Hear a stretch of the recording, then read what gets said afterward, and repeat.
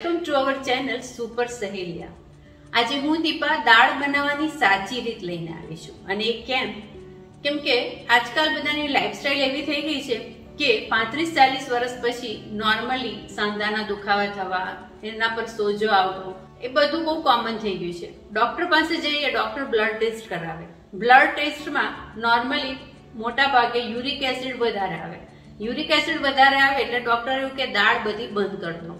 પણ આપણે અહીંયા દાળ એવી રીતે બનાવીશું કે યુરિક એસિડનું પ્રમાણ વધવા જ નહીં દઈએ. દાળ તો ખાવાની જ, પણ દાળ ખાવાની સાચી રીત કઈ છે? આજે હું તમને આ વિડીયોમાં બતાવીશ. આપણી નાની, દાદી બધા આ રીતે જ દાળ બનાવતા હતા.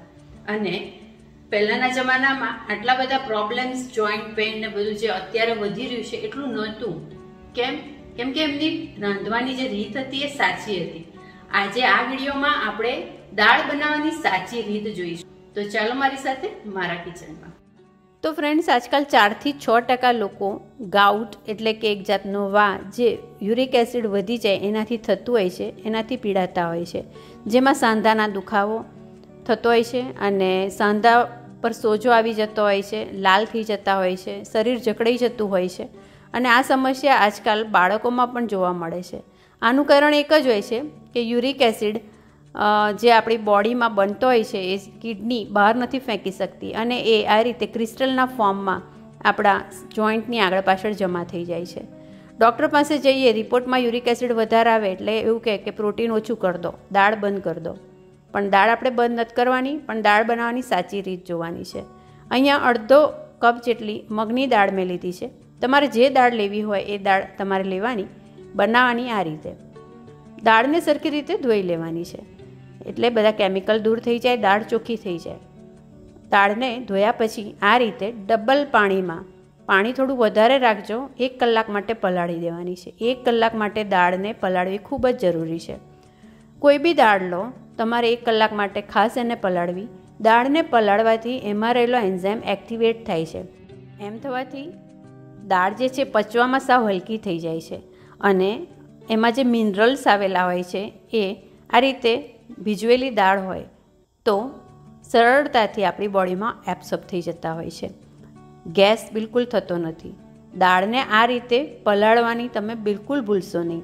અને આ રીતે પલાળેલી દાળ કેવી રીતે રાંધવાની એ ખાસ રીત જોવા જેવી છે. તો યુરિક એસિડનો પ્રોબ્લેમ કે કોઈના સાંધાના દુખાવા હોય તે દાળ તો ખાજો, પણ બનાવજો આ રીતે. અને ચોક્કસ વીડિયો આખો જુઓ ઇન્ટરેસ્ટિંગ છે. અને આપણે આ જે વા કે આર્થરાઇટિસ કે યુરિક એસિડ વધી જવું, એ બધા રોગો સામે લડી શકીશું. તો લીલા મસાલા દાળ બનાવવા માટે તૈયાર કરી લઈએ. એક ટામેટું લેવાનું છે, એક લીલું મરચું, બારીક સુધારેલું. અહીંયા જોઈ શકો છો લસણ અને થોડા કોથમીર. ચાલો હવે એક કુકર લઈ લઈએ. કુકરમાં આપણે દાળ લઈ લઈશું. તો એક કલાક ભીજવેલી દાળ પાણી મેં બધું કાઢી લીધું, કુકરમાં લઈ લીધી છે. હવે આપણે એની અંદર થોડું વધારે પાણી, દોઢ ગ્લાસ જેટલું પાણી એડ કરી લઈશું. અને પછી આપણે ગેસ ચાલુ કરી દઈશું. છૂટી દાળને બફાવા દઈશું. તમે આ દાળ બનાવતી વખતે કુકર કે પછી માટીનું વાસણ પણ લઈ શકો છો. કુકર બને ત્યાં સુધી સ્ટીલનું જ લેજો. એલ્યુમિનિયમનું ના વાપરશો. આ રીતે છૂટી દાળ ચડવા દેવાની છે. અને દાળ આ રીતે જેમ જેમ ચડશે, એમ ઉપર એક ફોર્મ એટલે કે ફીણા વળશે. અને આ જે ફીણા વળે, એ જ યુરિક એસિડ છે, એક્સ્ટ્રા પ્રોટીન છે, જેને આપણે કાઢી નાખવાનું છે. તો ફ્રેન્ડ્સ, આ રીતે જુઓ, આ જે ઉપર ફીણા વળ્યા છે, એ બધું આપણે કાઢી લેવાનું છે. અને એટલે જ પાણી વધારે લેવું, એટલે આ રીતે જે ફીણા વળે છે, એ તમને કાઢવાના ફાવે. તો આ પ્રોસેસ તમારે બે એકવાર કરવાનો છે અને બધા જ ફીણા આ રીતે કાઢી લેવાના છે. તો આ યુરિક એસિડ સમજો તમે કાઢી રહ્યા છો. તો આ રીતે દાળને તમારે છુટ્ટી થવા દેવી થોડો ટાઈમ અને આ રીતે જે ફીણા છે એ બધા કાઢી લેવા. તો ફ્રેન્ડ્સ આપણા દાદી, નાની બધા આ રીતે પહેલાં ફીણા જે વળતા એ કાઢી લેતા. એમને સાયન્ટિફિક રીઝન તો નથી ખબર, પણ એ લોકો એકદમ પ્રોપર રીતે રાંધતા હતા એ સાચું. તો આપણે આ રીતે કોઈ બી દાળ જ્યારે કુકિંગ કરવાની પ્રોસેસમાં લઈએ તો બે ત્રણ મિનિટ માટે આ રીતે એને થવા દેવી અને બધા એક્સ્ટ્રા ફીણા, બબલ્સ બધા કાઢી લેવા. પ્રોસેસ એક બે વાર કરવો અને પછી જ આગળ રાંધવાની શરૂઆત કરવી. તો ફ્રેન્ડ્સ, એકદમ નાની વાત છે, પણ જો રોજિંદા જીવનમાં આ પ્રેક્ટિસ આપણે રાખીશું, તો ઘરમાં કોઈને બી યુરિક એસિડનો પ્રોબ્લેમ થશે નહીં. એટલું સાચું. અને હશે તો બી યુરિક એસિડ હવે વધે નહીં. આ રીતે તૈયાર કરેલી દાળમાં આપણે નાખી દઈશું હળદર. હળદર લગભગ અડધી ચમચી જેટલી અને એની અંદર નાખી દઈશું પ્રમાણસર મીઠું. મીઠું અને હળદર મેં નાખી દીધું છે અને પછી એની અંદર ટામેટું પણ એડ કરી લઈશું અને સાથે સાથે આપણે નાખી દઈશું લીલું મરચું અને લસણ જે બારીક છ સાત કળી જેટલું પેસ્ટ કરીને તૈયાર રાખ્યું હતું એ પણ. અહીંયા આપણે આદુનો ટુકડો પણ છીણીને નાખી શકીએ છીએ. મસ્ટ નાખજો, સારું રહેશે. મારી પાસે અત્યારે નથી એટલે મેં નથી નાખ્યું.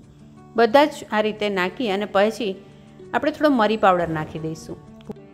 મરી પાવડર ખાસ એટલે નાખવાનો કે મરી પાવડર નાખવાથી હળદર સરસ રીતે એબ્સોર્બ થશે. મરી પાવડર નાખી, કુકરનું ઢાંકણું બંધ કરી બે વિસલ થવા દઈશું. તમે કોઈ બી જાતની દાળ આ રીતે બનાવી શકો છો. બહુ સરસ ટેસ્ટી બનતી હોય છે. ગુજરાતી તુવેરની દાળ એટલે કે આપણી ગુજરાતી દાળ પણ બનાવવાની રીત તમારી પણ ફીણા કાઢવાની રીત એપ્લાય કરવાનું ચૂકશો નહીં. બે વિસલ થઈ ગઈ છે. જુઓ, દાળ સરસ રીતે બફાઈ ગઈ છે. આ બફાઈ ગયેલી દાળ બસ લગભગ રેડી છે. થોડુંક પાણી નાખી અને થોડીક લિક્વિડ કરી દઈશું. અને બીજા મસાલા, કિચનના જે રેગ્યુલર જેમ કે લાલ મરચું છે, ધાણા જીરું છે અને મસ્ત મજાનો એક વઘાર, એટલું કરી લઈશું. તો આ રીતે લાલ મરચું નાખી દીધું છે ધાણા જીરું નાખી દીધું છે. બધું પ્રમાણસર ઓછું વધતું ટેસ્ટ પ્રમાણે એડ કરી લેવું, બધું હરકી રીતે મિક્સ કરી લેવું. અડધો ગ્લાસ જેટલું પાણી એડ કરી લઈશું અને બધું સરખી રીતે હલાવીને મિક્સ કરી લઈશું. એકદમ મીડિયમ સ્લો ફ્લેમ રાખીશું. દાળ લગભગ તૈયાર છે, પણ બસ એક ઉપરથી વઘાર રેડી અને પછી એને બંધ કરી દઈશું.